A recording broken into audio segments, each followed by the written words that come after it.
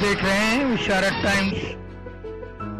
Congress leader Uttar Pradesh सरकार की पूर्व राज्य मंत्री अमिता सिंह ने आगामी लोकसभा चुनाव को देखते हुए समाज के बुद्धिजीवी वर्ग को लेकर एक मुहिम शुरू की है। अमिता सिंह ने कहा कि भारत की बौद्धिक प्रतिभा का पूरी दुनिया लोहा मानती है और समाज और राष्ट्र की तरक्की में बुद्धिजीवियों का अहम किरदार रहा है। लेकिन कहीं ना कहीं अपने देश में अधिकतर बुद्धिजीवियों की सियासत में अहम हिस्सेदारी नहीं है। रविवार शाम अमिता सिंह नेवड़ा के होटल पार्क में बौद्धिक प्रतिभा पर आयोजित एक कार्यक्रम में बोल रही थी। उन्होंने कहा, आप में से बहुत से पढ़े लिखे लोग देश की स्वस्थ राजनीति में योगदान करना चाहते हैं, लेकिन सही मंच न होने के कारण यह संभव नहीं हो पाता। अब कांग्रेस एक ऐसा फोरम है जिसके माध्यम से पढ़ा लिखा वर्ग विकास के लिए मुख्य धारा में जोड़कर अपने महत्वपूर्ण योगदान को दे सकता है।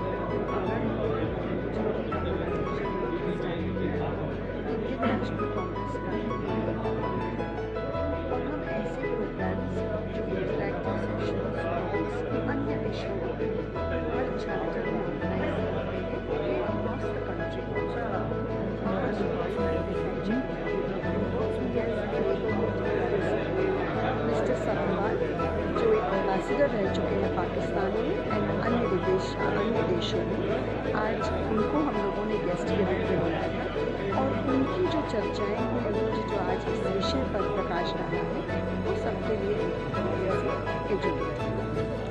जो बातें रही लोगों से इंटरेक्ट हुए बातचीत रही लोगों के किस तरह के सवाल रहे? आप शायद यहाँ पर रहे होंगे लोगों ने बहुत सारे अन्य प्रकार के प्रश्न किए देश के बारे में हमारे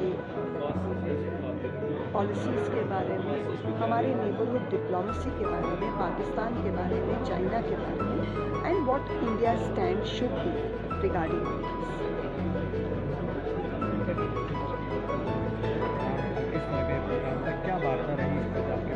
आप थे नहीं इसमें? तो आप वार्ता के बारे में पूछ क्यों रहे हो? इसका मतलब आप, आप ठीक से देख नहीं रहे थे अगर आप देख रहे होते तो ये सवाल रीजनेबल सवाल नहीं था। लोगों से किस तरह से आप इंटरेक्ट हुए किस तरह की हम बातें हम इंटरेक्ट आपके सामने था आपको टॉपिक मालूम था जिस पर डिस्कशन था जिस पर बातचीत थी। हमारे सब्रवाल साहब ने अपनी लंबी बात की हम लोगों ने भी थोड़ी थोड़ी बात की। हमारी देश की पड़ोसियों के साथ कैसे कूटनीतिक संबंध हों? कैसे हम उनको डील करें? ये एजेंडा था उस पर सबने डिस्कस किया। अच्छा दो हज़ार उन्नीस के आने वाले चुनाव में कांग्रेस जो पार्टी है किस तरह से अपनी रणनीति तैयार करेगी? उसकी रणनीति एक ही है कि मोदी को गिराना है भाजपा को हटाना है और हम उसमें सफल होंगे। हम पूरे देश में महागठबंधन चाहते हैं जितने पार्टी के लोग हों इकट्ठा हों और मोदी सरकार इस देश के हित में नहीं है देश का बड़ा अहित हो रहा है इसलिए उनको जाना चाहिए और वो ज़रूर जाएँगे। 2019 में क्या स्ट्रेटेजी है आपकी? हमारी स्ट्रेटजी यही है कि भाजपा को हटाने की स्ट्रेटजी चुनाव में सभी पार्टियाँ कैसे चुनाव लड़ा जाता है कैसे एजेंडा होता है कैसे प्रचार होता है सब जानते हैं। हमारे सामने गोल एक ही है कि देश के हित में मोदी सरकार नहीं ठीक है उसको जाना चाहिए। जनता को आप अपनी तरफ़ कैसे लाएँगे ये जनता को लाने का काम मोदी जितना कर रहे हैं उतना हम भी नहीं कर पाएँगे। मोदी ने आते ही चौदह में जितनी बातें कही थी एक नहीं किया देश के अहित के जितने काम थे वो सारे किए। इन्होंने जितनी रीत नीति अपनी बनाई, वो सब इनकी कोई नहीं थी। इन्होंने नाम बदला, रैपिंग अच्छी की, प्रचार अच्छा किया और पब्लिसिटी पर खूब खर्चा किया। और जो मीडिया घरों के बड़े बड़े मालिक हैं, उनको फिट किया। उसी के बल पे वो जीतना चाहते हैं और उनकी कलई खुल गई है। जनता ने उनको, उनकी बात देख ली है और जनता दोबारा ऐसी गलती नहीं करेगी। 2014 के बाद लगभग सभी स्टेट में बीजेपी जीती है। ठीक है। ठीक है? हाँ। अगर जो झूठ होता तो स्टेटों के स्टेटों के इश्यूज़ अलग होते हैं। ये नरेंद्र मोदी जी प्रधानमंत्री जी वो मुख्यमंत्री बनने के लिए नहीं आए थे वो प्रधानमंत्री बने हैं। आगे भी प्रधानमंत्री बनना चाहते हैं और देश उनको नहीं बनाना चाहते। ठीक है भैया? धन्यवाद। आज हमारा अपने पड़ोसियों से क्या रिश्ता है? हम कैसा काम धाम कर रहे हैं? कैसे हमारी छवि है? कैसे हमारी आर्थिक स्थिति है? ये सब आप सबको पता है। जो आपकी स्थिति है, ये मैं मानता हूँ कि समय भी बदला है। मैं अपने जीवन काल में 76 से आज तक देख रहा हूँ।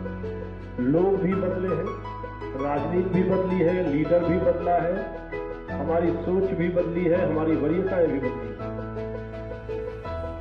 आज हम भले विदेशी दौरे बहुत करते हैं, लेकिन क्या हम अपने मित्र देशों के अपने पड़ोसी देशों के संबंध, संपर्क, उनका विकास, हमारा विकास आधारित है या हमारी छवि आधारित है?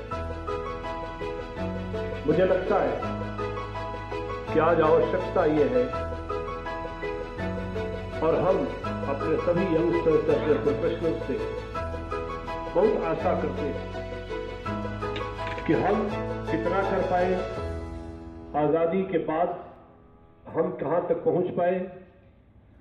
ऐसा मेरा मानना नहीं कि मैं बहुत ही बहुत ज़्यादा नेगेटिव हूँ इस मामले में। हम जहाँ थे उससे बहुत आगे आए। लेकिन हम इससे कहीं ज़्यादा जा सकते थे हमारे फौज के सम्मानित अधिकारी भी यहाँ होंगे। चीन और पाकिस्तान, हमारी प्लानिंग हमारी स्ट्रेटजी हमारी नीति हमारे सभी और तौर तरीके उनको निगाह में रख करके बनाए जाते हैं।